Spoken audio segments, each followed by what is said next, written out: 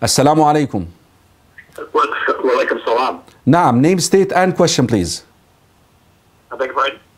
Okay, your name and state and question. Okay, my name is Luqman.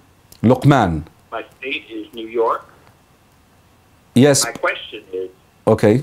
Uh, with the recent news in the paper on the CNN and other news sites on Mauritania, and the slavery issue. I like clarification on the status of slavery in Islam at the time of the Prophet no. now.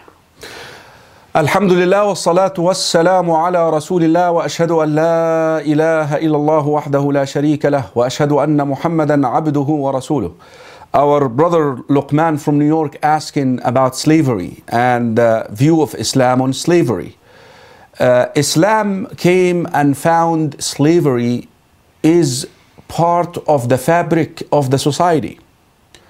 Slavery is an old uh, tradition. Islam came to combat it and to finish it and to kill it. And He did, Allah subhanahu wa ta'ala in His Sharia did this in so many ways. For example, if you commit a sin, uh, one of the means to get your sin expiated is to free someone from slavery. Rasul sallallahu alayhi wasallam also given encouragement that if you free a person, al-hadith yani I know it's authentic, uh, but if you free a person from slavery, uh, basically for every limb of that person you get a sadaqah. So there is an encouragement to free people from slavery. Also, Allah subhanahu wa ta'ala in the Quran encouraged people to, to basically work their way out of slavery.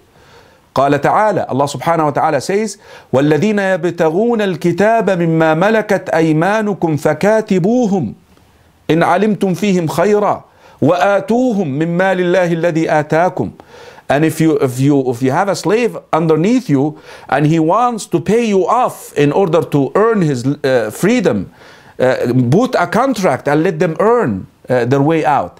So Islam came brother Luqman to finish this but without the vi- without violating the rights of people without violating the rights of the owner of these people because at the end of the day a person who owns a slave he purchased him he paid money for him. Now he is to be paid back so one of the ways that you get the ummah at large by expiating their sins, pay that person off to free the slave, like Sayyidina Abu Bakr as-Siddiq did with Bilal radiallahu an. And there are more examples. Or the person himself works to earn his liberty, like Sayyidina uh, Salman al-Farisi radiallahu an. His, his story is famous in the Sunnah, how he actually paid off his Jewish master to be freed from slavery and so forth. So Islam came to defeat and finish slavery through the proper channels without violating the rights of individuals. I hope this helps you, Brother Luqman.